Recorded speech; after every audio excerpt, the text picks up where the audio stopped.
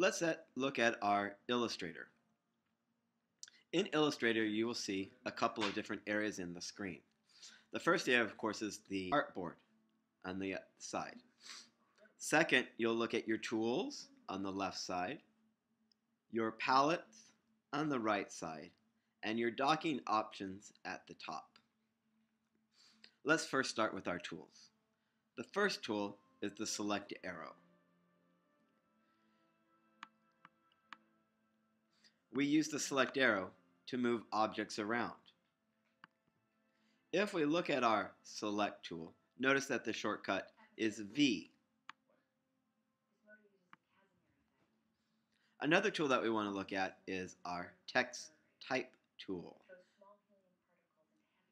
Notice that I'm using select tool to move it. We use the text tool for typing and notice that its shortcut is T. Another tool that we want to look at is our rectangle tool.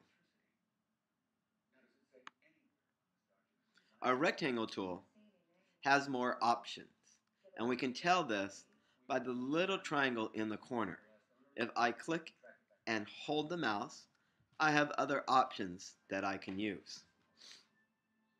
The shortcut for our rectangle tool is M.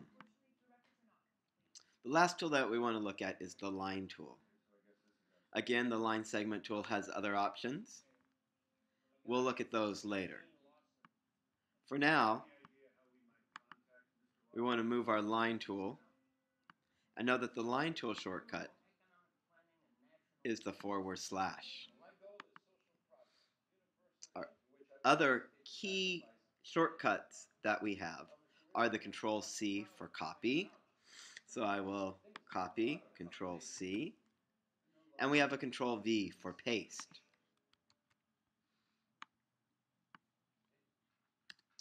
Another shortcut are the zoom tools. So control plus zooms me in and control minus will zoom out. To get back, control 0. To move, we have a shortcut of the space bar and clicking on your mouse.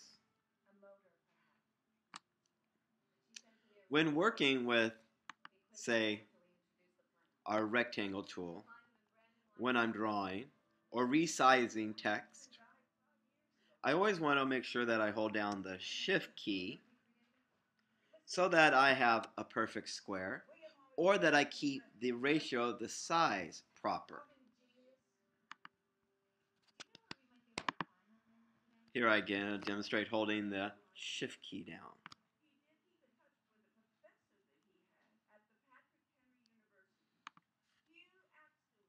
Last is our grid, which is the control quote marks. You can turn the grid off or on.